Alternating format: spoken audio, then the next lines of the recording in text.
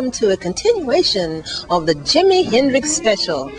I'm Fikisha Cumbo, and we are here at 1600 Broadway at the Concrete Studios with two of Jimmy's best friends, Taharqa Aleem and Tunde-Ra Aleem.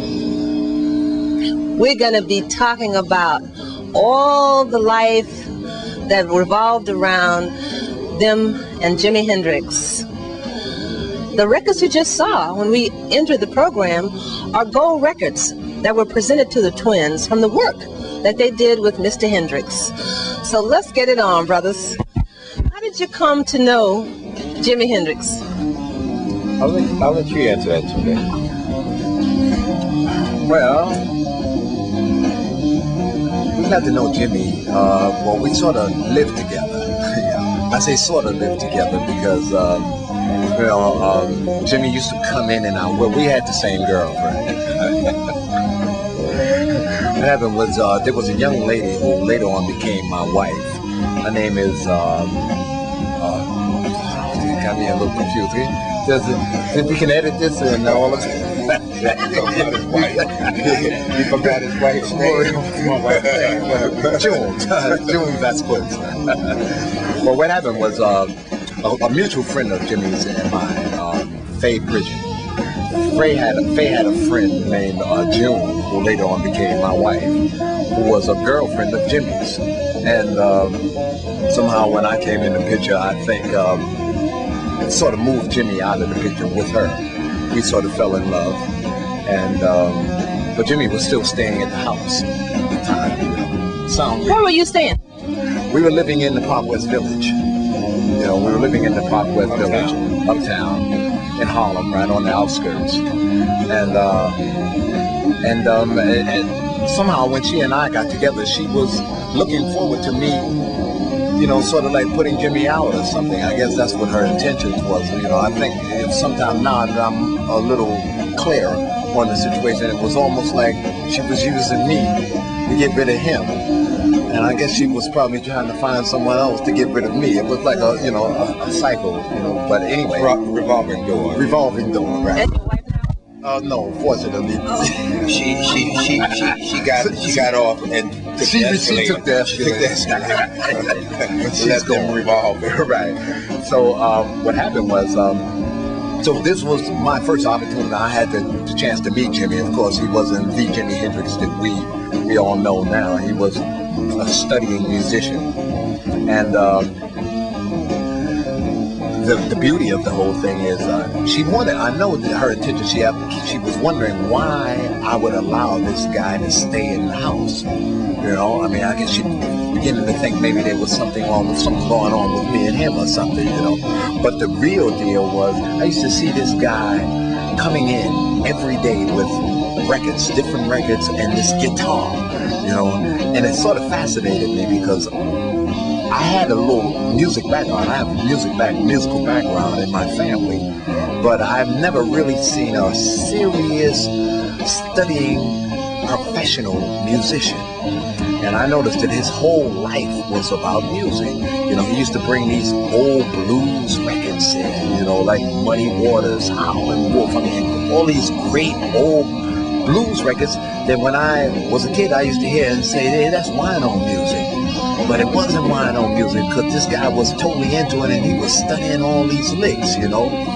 But meanwhile, she was pressuring me about getting rid of this guy. But I was fascinated with this guy, you know, uh, studying this music the way he was studying it. Well, studying at that time, if I may, if I may add, you know, studying because of course again like my brother said we were involved in music and always was involved in music. Uh, uh, i think that we did have a knowledge of what study was because of my sister who was a pianist right? And my brother and i would always take my sister to music classes. And so we, we really had a knowledge of of what in you know intense study uh, uh represented But uh, uh, then we moved off into our level of, of, of music study, which was singing and you know hanging out into the in the uh, hallways and doo wopping, you know, Drinking a little wine. drinking a little wine. Add that little. But Jimmy was Jimmy was almost a a studying bum you know, to a degree. You know, like you find people who stay in uh, college and just really study, you know, and they're afraid, even afraid to get out. But and Jimmy didn't care and didn't care where he lived. lived where he He didn't anything. care anything. His, his concentration was as almost as though he was on a mission. Right. He didn't care how And he of course, this fascinated me. So it was no way in the world that I was going to tell a guy like this because I was fascinated over what he was doing and how intense his study was. So I wasn't about to say, get out. You know, I was about to tell her to get out. It was wait a minute, wait a minute. How did he? How did he come to be in the house together? Because he was living with the girl first, and then you. with the, with the girl prior to me, and then Faye introduced me to her, and then I she and I was too got- intense He was too for intense her. for her. so, so she was probably looking for a little more excitement, and his excitement was probably with his hits. Muddy Waters, you Muddy know. Waters and all, you know what he was doing. I was beginning to see that later on, you know, because he would always come in with the records. How long did you guys live together?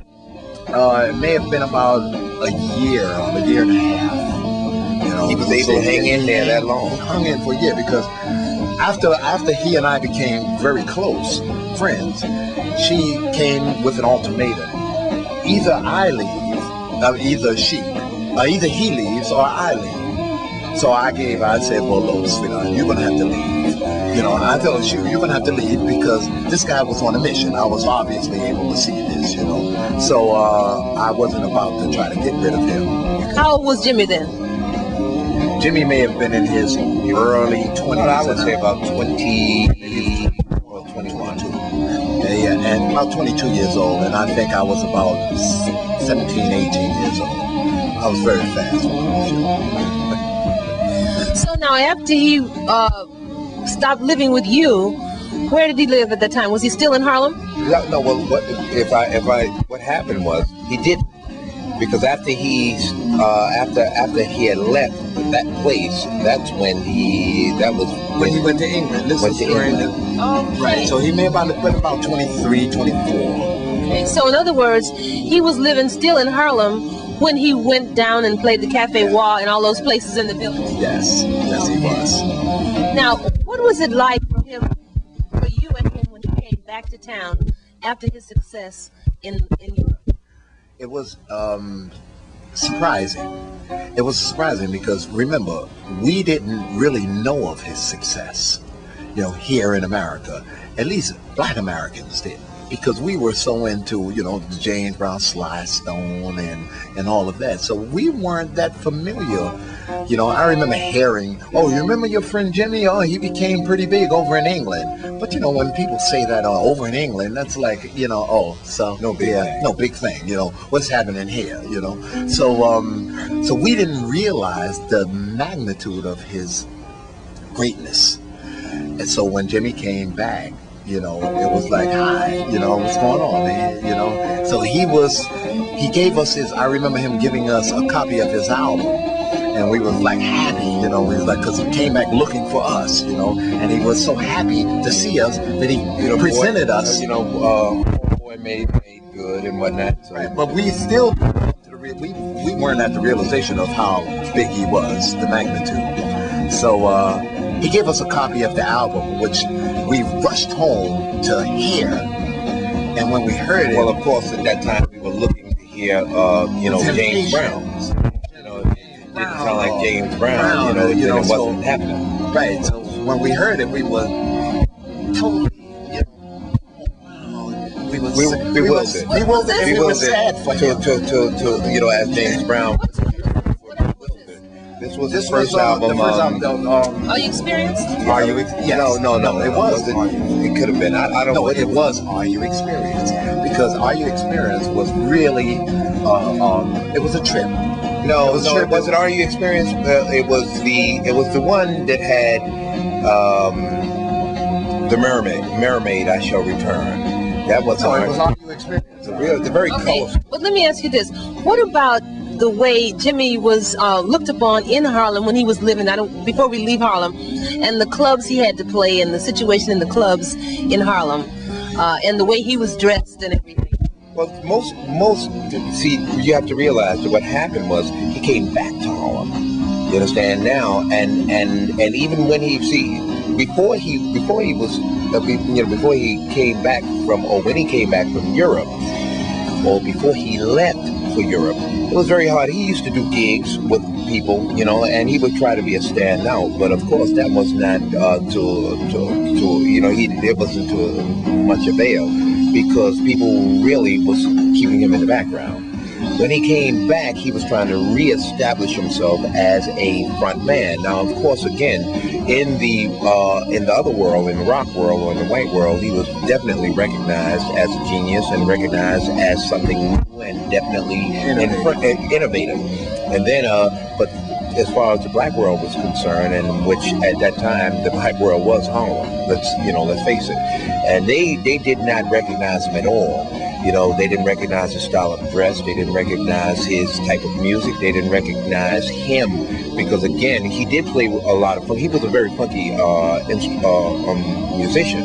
But nevertheless, but, nevertheless, I mean, I'm sorry to interrupt you, Doctor, but nevertheless, when he would play, like if we would go to uh, Small's Paradise, we would go to any of the places in Harlem, and he would play, he would turn the place out, no matter where he would right. go to play. So it wasn't that he wasn't accepted he just wasn't programmed to the, uh, you know, he just wasn't programmed to the community. To that market. To that market. And of course, that goes back to, uh, um, to his, uh, to the record company and to his management. I don't think that they had much uh, desire to program him in in those directions. They felt success was where it was, and so let's, you know, why rock the boat? We're going to talk about that in detail in a little while. Let me ask you about uh, the concert and the press conference that was held up in Harlem with Jimi Hendrix. Well, you know, uh, uh, let me see what you're trying to say there, Keisha. I think you had something to do with that concert. oh yeah, I see it. Okay. Um, the, the, the what what happened was our objective was because Jimmy, we began to uh, feel where he was coming from. Of course, our, our, closeness made us aware that he was trying to get more uh, in touch with the black community. And in, in that desire, it made us desire to do whatever we could in order to expose him to the community that he came out of and that he wanted to, you know, really present us uh, truly a part of. Uh, we, we, we felt as though uh, um, Jimmy had many times expressed his desire to do things like at, at places like Small's Paradise uh, again, and uh, go uptown and you know, you know, Apollo and things like that. And we tried to make arrangements to make that happen. Of course, we still you still have to realize that we're dealing with an artist who was making at that time hundred and twenty-five thousand dollars a night,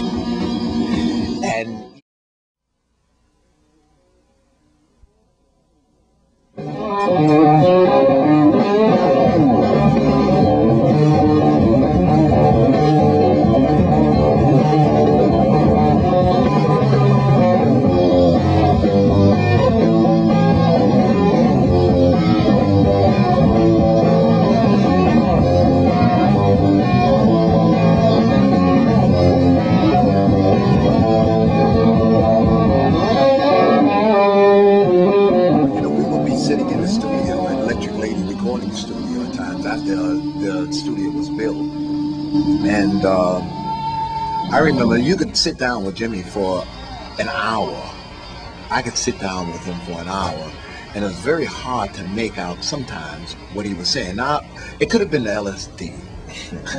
but no, but it, but it really wasn't because really you could really it was the, Jimmy was you know like songs like uh, 19 um, what is it 1980 1990 a merman I show, show return. return. Well, it, it was times Jimmy would talk that way you know, he could talk to you in that in that type of uh, this conversation would actually be, you know, metaphor, abstract yeah. metaphor, yeah. right? Uh, you know, like, hooray, I'm waiting for yesterday. but he would get world is here to stay. You know, all of that. You know, I mean, but he would do it in. He but would he would do it in real conversation. in conversation. That if you took the time to be able to break it down well, if you were high enough at that point, and when I say high, I'm not saying that in the, in the derogatory. I'm talking about high spiritually. Spiritual. And uh, you would be able to see, and I, and it really, as, the older become, the more I realized it. I think that he was he was uh, um, trapped. He was trapped in in the world in a in a very uh, uh, platonic and and uh, um, what, what you call uh, in a world that really does not uh, elaborate on Or allow. or allow spirituality to really address Blossom. itself in in its full bloom, especially a Without person being like that. considered a freak or being Or being- considered or- strange. or, Well, he you know. always talked about being out with the stars and, you know, Yes. hearing music of the spheres Yes. and not being able to put it into hmm to sound And put it into sound. Well, and yeah, well, colors all mixed together, kind of. Yeah, he was definitely into colors, and he was definitely into taking colors and making that reflect in His I'll, music. I'll never forget this. There was something that he did with a group called uh, um, uh, what was it? The Last Poets. I remember. I'll never forget this. It was a song called Doriella Dufontaine. Are you familiar with that? Right. Right. Oh, okay. Well, that particular song uh, really uh, um, accentuates It's like a rap, kind of. It was well, of course, the last poets at that time were were the premier rap type or the precipitors of rap, and and what happened was uh, uh, Jimmy, of course, did something with them, and that song was called Doriella Dufontaine, and it really uh, um, accentuated the combination of color and story. You know what I'm saying? Painting or painting pictures. Painting pictures. You know, because he was really into painting. And he would accentuate things, you know, not just to be playing, but to uh, to actually bring out highlights and so on. And that really did a very Showing good how job. color and sound are one together. Right, Trying absolutely. To, to get that, that, that seemed to have been his It's- his forte is to put the color and sound to make it one. To, To make it you one. Feel feel color Yeah. and well, see sound. You know? it created it created um, even within us uh, more as we as we evolved in in music it really was our uh, it was our uh, Lesson. lessons because what we did we we uh, ghetto ghetto fighters further moved on and we started doing things and our things really lent itself towards that type of stuff which which was uh, part rap part uh, uh, music and taking colors. Goes all the way back to Peter and the Wolf type stuff you know back in uh, back in back in the day. But actually bringing it into uh, our our sound and our And music. Ghetto Fighters, of course, was a group that you guys used to have. yes. We were the group we were the background group for Jimmy. What about Jimmy and his Corvettes? yeah Jimmy had a, a, a well you want to Yeah. Jimmy Jimmy Jimmy liked to wreck cars you know I don't know if, if you know that but he, he, he used to like to wreck cars And he may have had this um this uh, young funny the easy rider. what comes on yeah comes on at that time right. But uh, yeah Jimmy he knew that. yeah, Yeah, yeah, because uh, Jimmy bought he he bought this uh, Stingray, a Corvette, Corvette Corvette Stingray, Stingray. Um, and metallic I'll never forget metallic, it. It was really beautiful, beautiful beautiful beautiful. And during that time, we I had a um, a pimp mobile. Well, it was a Cadillac, you know, and um, but I've never seen uh, a black guy during that time with a you know because we were into uh, I mean at least in Harlem we were into Cadillacs, but Jimmy was different, Right. you know. Yeah. he had the Corvette, you know, and it was a beautiful one. So we decided to leave the Cadillac, and the three of us would pile into this Corvette, and you know, and, and ride that's around. exactly what it was piling so we piled in the Corvette, and we went to, you know where, where the after hours spot. we went to the after hours spot, had fun. I mean, you know, we. Well, of course, you got to understand it. I mean, you know, time was really something. At the time was really moving at an accelerated speed. So we always found ourselves in an after hours because we needed after hours. Because there wasn't enough There time wasn't in the enough time in the day. I mean, we were on top of the world. You know? So what? So what happened was, um, so after Jimmy got what he needed and what he needed in the after hours spot, which was you know see a few people and uh, Do a few things. do, a few things, and Say a few. say- say a few lines, you know.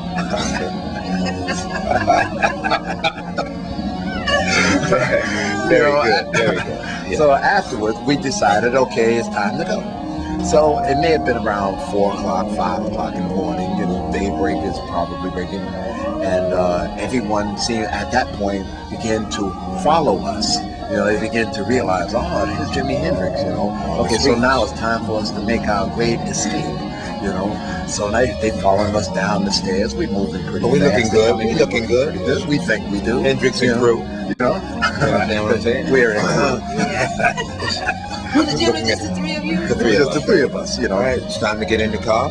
and make our getaway. Uh, If if the car, if we could have snapped our fingers and the car drove up to us, that would have even been greater. But Right. you know, we had to walk to it. You know? Right, but we But that was did. okay because the crowd was coming more. Right, It was right. cool. No, it's like, oh, are you Jimi Hendrix? And then I guess our job was, uh, huh, Yes, oh, yeah. oh, oh, you know, Oh, wait a minute, gotta wait a play it minute. off. You know, You so gotta do it right. Jimmy jumps in the car and say, "Come on, let's go, y'all." So we jumps in the car and we getting ready to make. Now, now the, the crowd is building up. Remember, after our places are closing, and now everyone is, uh, we're the uh, center of the Roll out window, Jimmy. Roll one, window. an autograph. Okay, I'll even sign one. Yeah. you know. So the autograph All right. after we. All right, now roll up the window. Now, Let's everything was was uh, time. time, Perfect. and We it was it. It was knew how to almost do it. planned. well planned. this is almost every night? Well, Yeah, well, it this became a particular routine night, it became a a routine, so we knew how to do it. We knew we knew the escape. We knew how to how to how to play it. And we knew how how, much- to time it. how to time and we it. knew how to get on out and how much how much dust to blow when the car takes And off. so, You so now finally, perfect. so okay, Jimmy, let's go. And uh, all right, pull on off, Jim. pull on off, pull off, Jimmy. Let's go. Let's go. A brand new Corvette. Brand new Corvette. I can't I can't get it started. get it started. now the crowd, everybody, everybody's looking. Ready to say You know, even they It knew. was almost like You know, I mean, the people know that Well, how escape supposed- is supposed to happen. It was all part of you the know, plan. you know, even the they're are part of it. Yeah, they're stars. I mean, they know this whole thing. They create these. Now, yeah, now, now, wait, wait a minute. What the hell are we gonna do? You mean we Do we gotta get out? Do we get out and leave the And car show our and let vulnerability? Yeah, show Yeah. vulnerability, or do we just stay here Yeah. all night?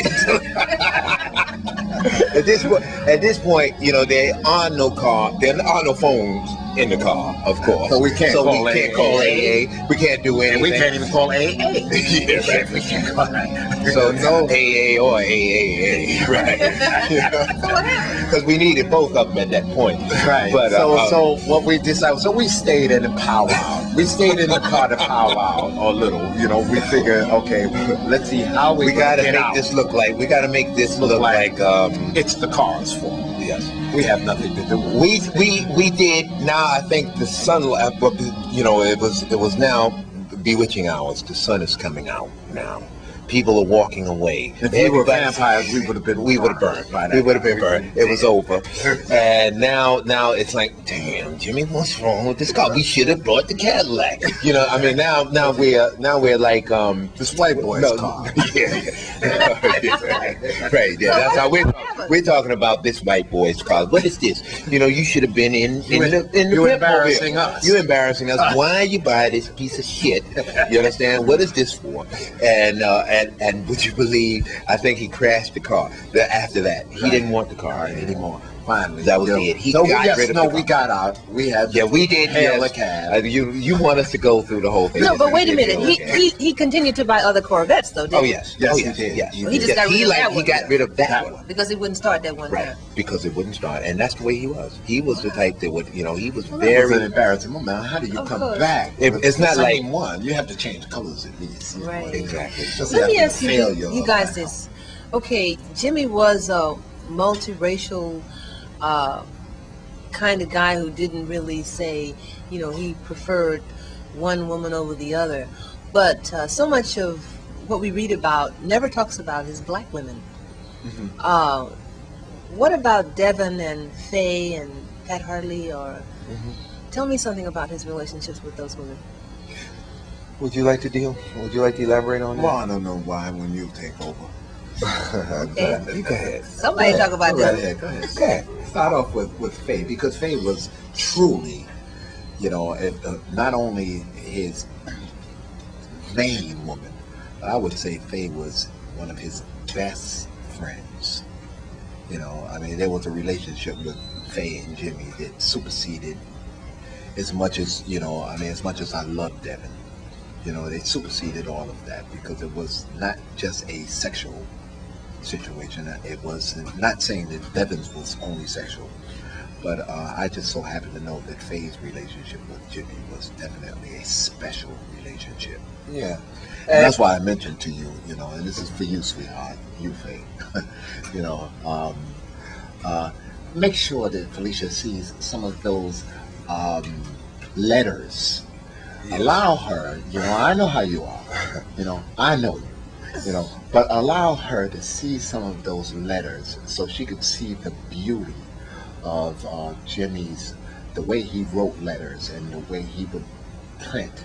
You know, I told her so much about this, Faye. So I want you to do this. Do this for Daddy, okay, baby?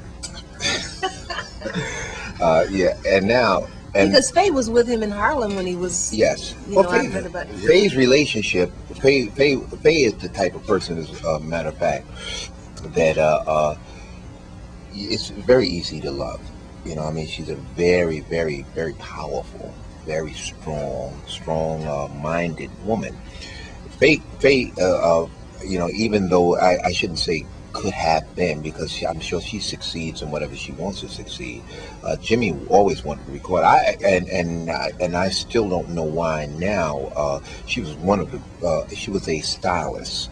Well, she is a stylist in her in her uh, um, Great blues, blues. approach. Great writer. Wow. right? Even And- plays the guitar. First time I ever heard that. Oh, and played guitar I'm looking as well. forward to meeting her. Yeah, and and uh, She's shy, so you know you gotta bring it out of her. I can hear her laughing now.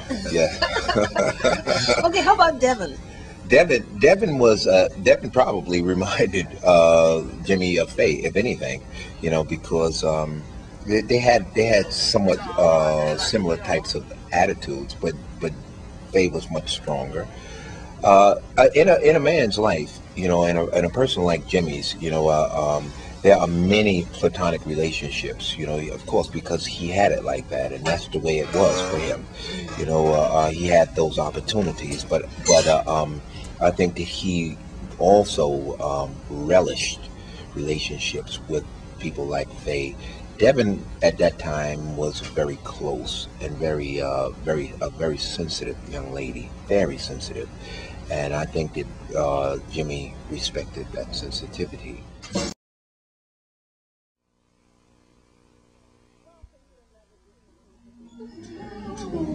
Welcome to another edition of CACE International. I'm Fikisha Cumbo, and we're continuing with our special on Jimi Hendrix. We're at Concrete Studios, 1600 Broadway, with the twins, who are Jimi Hendrix's best friends, Taharqa and Tunde-Ra. So let's get started here. Fellas, tell me about the men who had something to do with Jimmy's career. Let's start off with uh, Alan Douglas. Okay, Alan Douglas. I don't remember meeting Alan. You know, Alan, very graceful. Was that Brown? Al Brown, Mr. Yeah, Brown was a musician, one of the great black musicians, introduced us to uh, Alan Douglas. Alan Douglas is, well, I could say is. Alan Douglas is a uh, a genius. You know, Alan, you know, had was managing a couple of groups at the time. John McLaughlin was one of the groups. He was dealing with the uh, Last Poets, who was one of the uh, precipitors in rap, and he had another uh, another group that he was dealing. With The Last Poets, right? Yeah, Last with. Poets was one of Yeah, yeah. John McLaughlin. But I Well, think what's his relationship now with the uh, estate? Well, Uh, yeah, well, let's let's go back because I think you would have to go back in retrospect. Uh, Alan was one of the people who wanted to bring Jimmy a little bit closer towards the jazz um, uh, outlet, uh, which is something that Jimmy really wanted to do. Alan, of course, was affiliated with jazz artists at that time, and so I think that that's basically where that uh, uh, that connection came. And Al was Al Brown was quite uh, um, uh, aware of Jimmy's desires and needs, desires. musical desires and needs. And so, therefore, he introduced him to Alan Douglas, and Alan Douglas uh, uh, proceeded in trying to make that type of connection, and which he did. Uh, there are some tapes that Alan do have, again, as I told you, with the Last Poets, and also with John McLaughlin. Which was which was really interesting. You know, I, I must admit I've heard some of the tapes that Jimmy did with John McLaughlin, and he burned them up. But nevertheless, you know.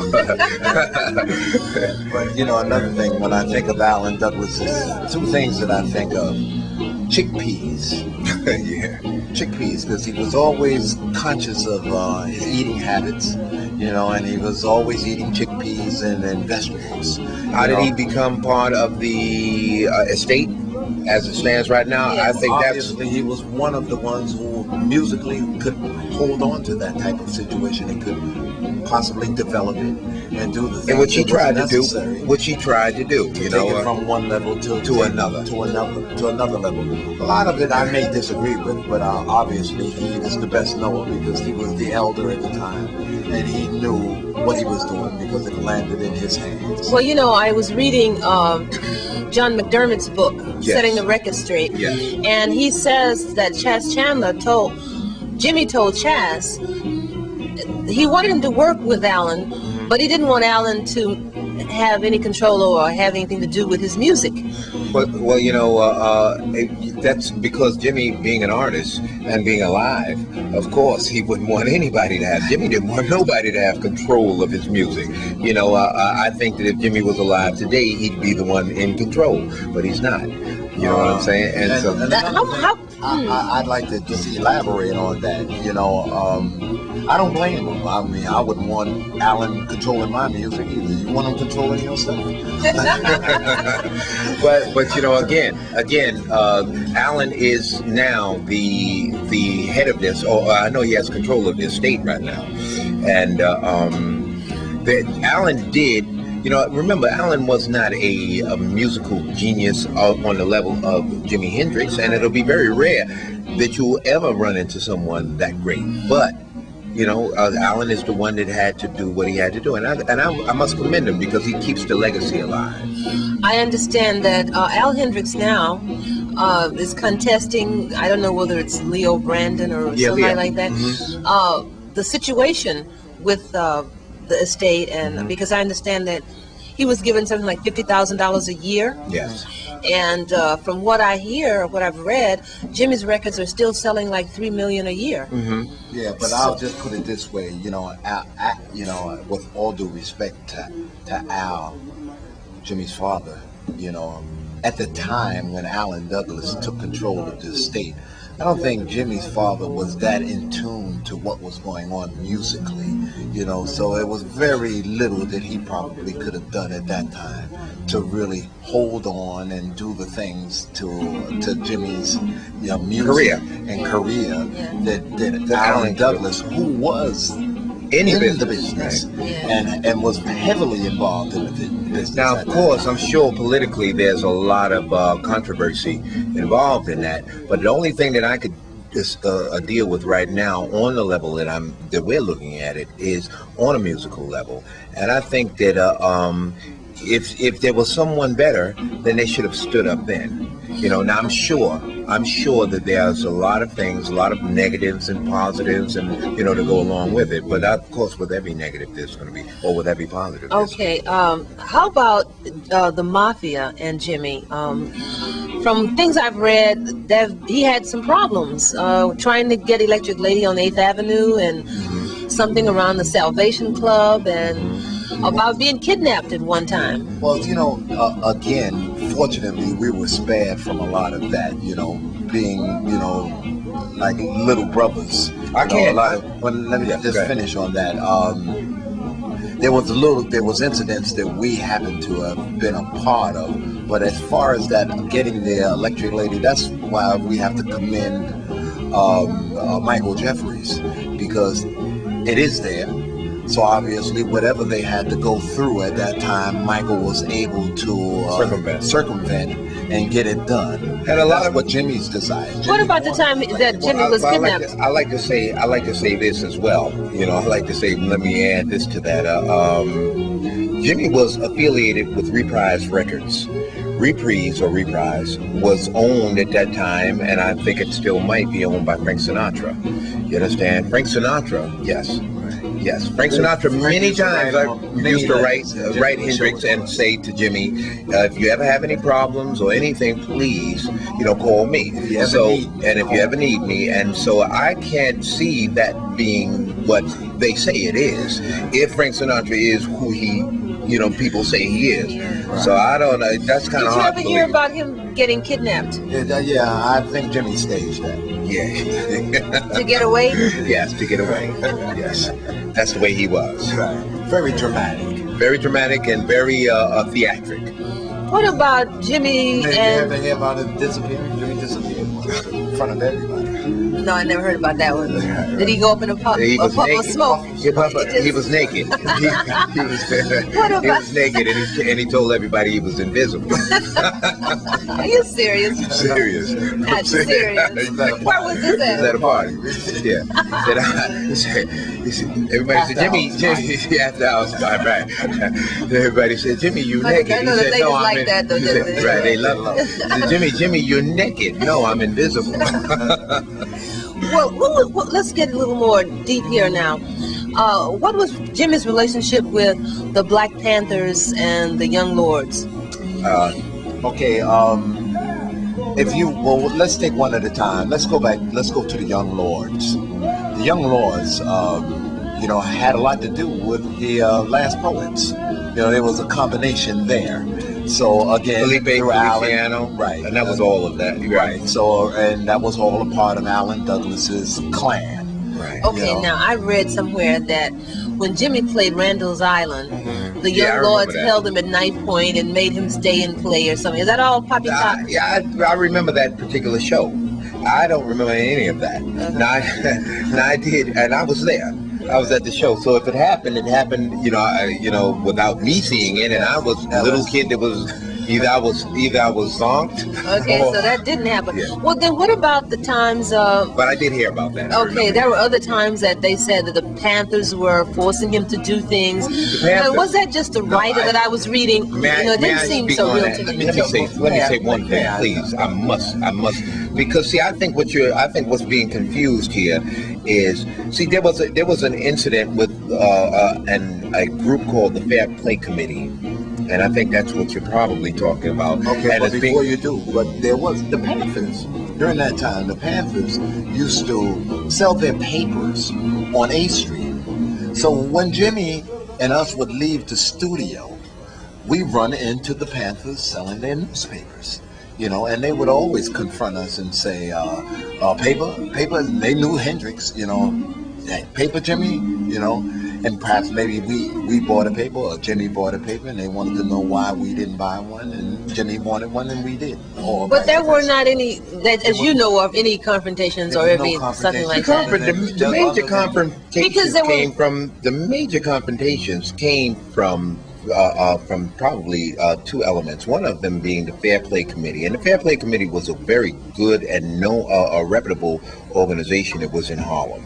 You understand? Now they were affiliated with a lot of these people, but the Fair Play Committee were uh, many times um, they were they had expectations of Jimmy, you know, for you know of and for Jimmy, and they wanted Jimmy to do things. You understand for him or for that organization. Jimmy Jimmy probably would have done it because Jimmy did a lot of things, you know, impromptu, and he would do benefits, and benefits and did a lot of things. contracts. Uh, what happened? Yes, They got him in a lot of trouble too, right? But I think that what happened was uh, with the Fair Play Committee, they they was uh, their anxiety created caused them to do because there was a time when we said that we would do something for the Fair Play Committee.